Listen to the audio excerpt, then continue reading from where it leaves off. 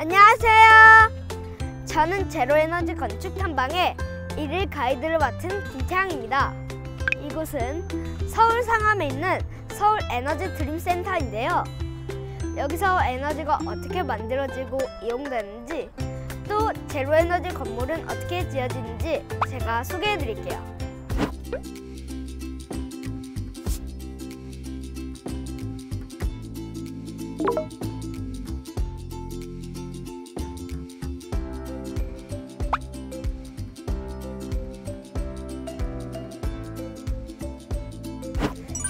1층 에너지 드림관에서는 땅속의 열이나 물, 햇빛, 바람 같은 우리 주변의 자연을 이용하는 다양한 에너지에 대해 배울 수 있어요. 특히 이렇게 손잡이를 돌리거나 펌프질을 하고 거울을 움직이면서 어떤 원리로 에너지가 만들어지는지 직접 체험할 수 있어요. 저는 태양광 에너지 체험이 가장 신기하고 재미있습니다.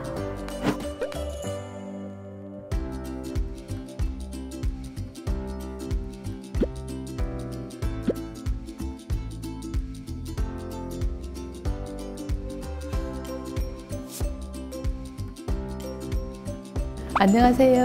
안녕하세요. 네, 오늘 저희 서울 에너지 드림센터에 어린이 가이드님 방문하신다고 해서 와봤어요. 저는 서울 에너지 드림센터의 김여경입니다. 저는 김태양입니다. 제로에너지 건축에 대해서 설명을 도와드려도 될까요? 아, 네, 고맙습니다. 태양 학생은 제로에너지 건축에 대해서 굉장히 관심이 많다고 들었어요. 그래서 아마 잘 알고 있을 듯한데요. 쉽게 말해서 필요한 에너지를 스스로 만들어낼 수 있고 또 에너지를 적게 사용할 수 있게 지어진 건물이라고 알고 있어요. 아, 맞아요. 아까 태양 학생이 체험했던 신재생 에너지 기술이 서울 에너지 드림센터 건물 곳곳에 숨어져 있답니다. 먼저 옥상과 정원에는 햇빛을 이용해서 전기를 만드는 태양광 설비가 있어요.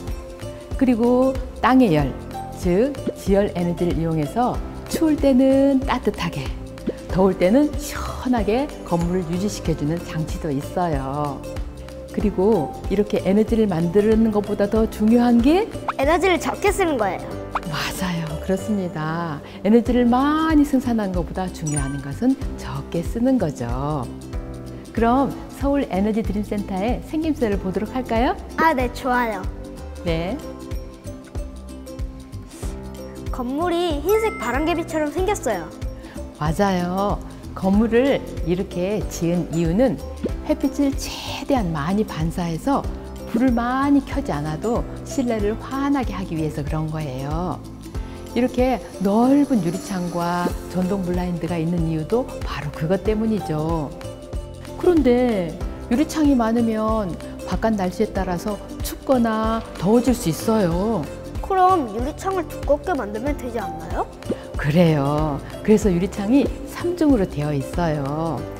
그리고 다른 벽들도 열이 새어나가거나 들어오는 것을 막을 수 있는 재료를 이용해서 건물을 지었답니다. 이 건물을 에너지를 만들기도 하고 또 에너지를 적게 사용하기도 하잖아요. 네. 그럼 남은 에너지는 어떻게 하나요? 네. 남은 에너지는 잘 보관해 두었다가 필요할 때 쓰면 좋겠죠. 이렇게 에너지를 얼마나 만들어내는지, 얼마나 쓰고 있는지 빌딩 에너지 관리 시스템에서 바로 바로 확인하고 또 저장도 할 수 있어요. 실시간으로 확인할 수 있어서 무척 편리한 것 같아요. 저도 이해가 잘 되고요. 에너지가 새어 나가는 곳은 꼼꼼하게 막고 또 필요한 에너지는 자연을 이용해 스스로 만들고 이 모든 걸 잘 관리할 수 있도록 지은 건물이 제로 에너지 건축물인 거죠. 네, 이제 태양 학생은 정말 완벽한 제로에너지 건축물 전문가가 된 것 같은데요? 감사합니다. 네. 제로 에너지 건축은 기후 변화, 환경을 생각하는 건축이라는 생각이 들었어요. 지구에게 일어나는 일은 곧 우리에게 일어나는 일이고 다른 누구도 아닌 우리를 위해 꼭 필요한 것 건축이라고 느꼈습니다. 그래서 또 다른 제로에너지 건축물도 살펴보면 좋을 것 같은데요. 우리가 자주 이용하는 도서관입니다.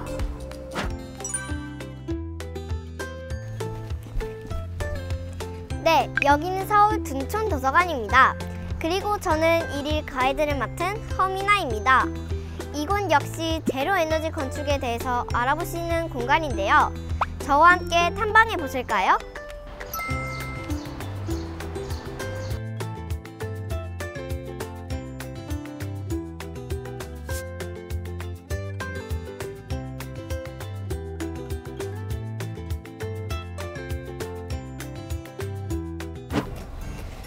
우선 도서관에 왔으니 제로 에너지 건축에 관련된 책을 좀 볼게요.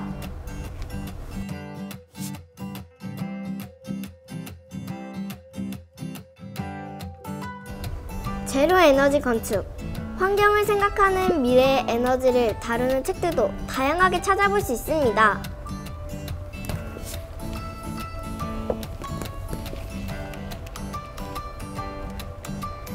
책도 많지만 실제로 이 도서관이 제로 에너지 건축물이라고 하는데요. 선생님을 만나볼게요. 안녕하세요. 안녕하세요. 네, 저는 명지대학교 건축학부의 이명주 교수라고 해요. 만나서 반갑습니다. 어, 지금 미래 에너지에 대한 책을 보고 있었네요. 건축물과 에너지도 이렇게 접목시킬 수 있거든요. 우리가 그걸 제로 에너지 건축물이라고 해요. 둔촌 도서관도 제로 에너지 건축물이거든요. 제로 에너지 건축물이라고 하는 것은 실제로 이 도서관에서 쓰는 겨울철 난방 에너지, 그리고 여름철 냉방 에너지, 그리고 화장실에서 쓰는 따뜻한 물, 조명, 환기 이렇게 다섯 가지 5대 에너지를 실제로 1년 동안 얼마를 썼나 총 합쳐보고 그거에 대해서 직접 생산하는 양을 우리가 한번 검토를 하는데요. 이 둔촌도서관 같은 경우는 직접 옥상에서 전체 소비량의 54%를 실제로 생산하고 있어요. 옥상에서요? 네, 맞아요. 옥상에서요. 어떤 기술들이 이 건물에 숨어 있는지 같이 보러 갈까요? 네. 네.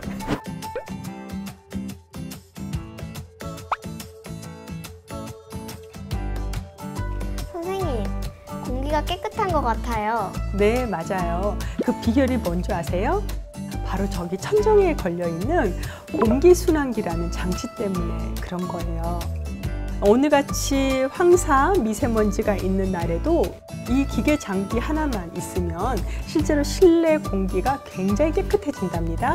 바깥에 있는 산소의 공기를 가지고 들어오되 필터를 통해서 깨끗하게 만들어서 집어넣고요. 그리고 실내에서 오염된 공기를 다시 내보낼 때 저 기계를 통과해서 내보내도록 되어 있어요.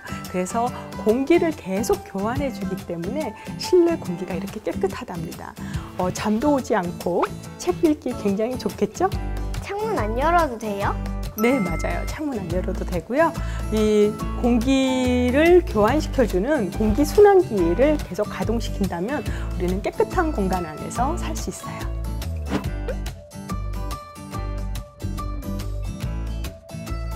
지금 여기 온도가 몇 도예요? 어, 23도 정도 되는 것 같아요.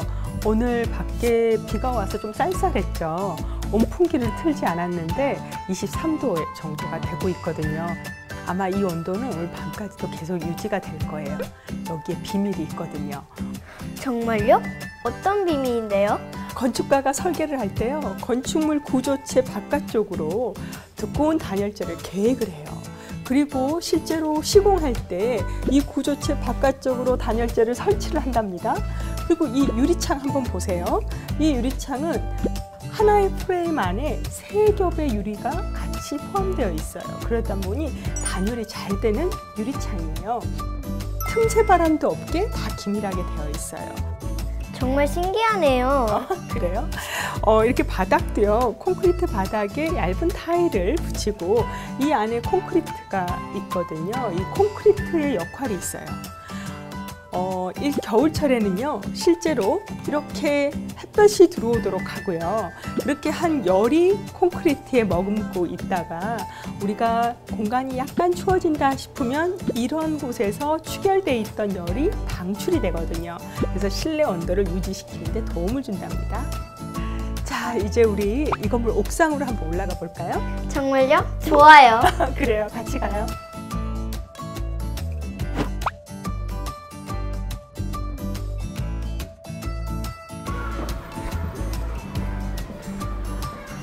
위에 있는 건 뭐예요? 아, 저거는요. 태양으로부터는 열 에너지를 어, 전기 에너지로 전환시켜주는 태양광 모듈판이에요.